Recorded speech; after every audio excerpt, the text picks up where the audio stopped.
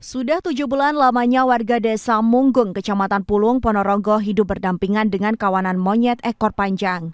Kehadiran satwa liar ini sering mengganggu warga setempat karena kawanan monyet tersebut merusak telur-telur ayam, mencuri buah-buahan, dan merusak tanaman seperti cengkeh dan ketela.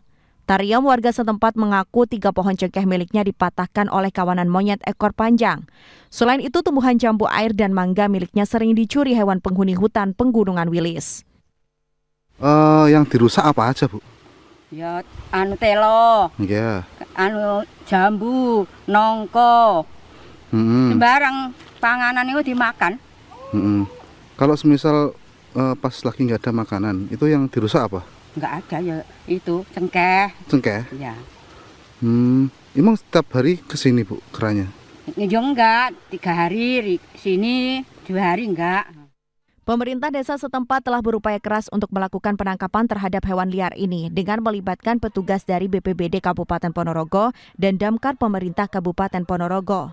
Sayangnya hingga kini upaya tersebut belum membuahkan hasil. Terkait teror kera ini di desa Munggong ini sejak kapan sih Pak? Sudah lama, kurang lebih tujuh bulan. Kemarin tuh sudah kita berupaya melaporkan ke pihak BPBD untuk penanganan karena Eh, sedikit banyak meresahkan warga. Uh, perusakannya seperti apa, Pak?